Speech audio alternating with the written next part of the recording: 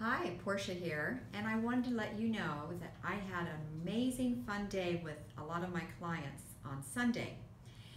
We had a sailing trip, and that was to thank them for all the referrals that they've been giving me lately, and it was just a really, really fun time being together and sharing a few uh, laughs as well as being on the high seas, and uh, everybody had a good time. No one fell overboard.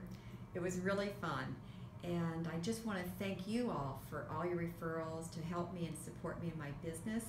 And I definitely would love to offer that for you in the future. So if you know of anybody that needs to buy or sell, please give me a call. I'd really appreciate it. Take care.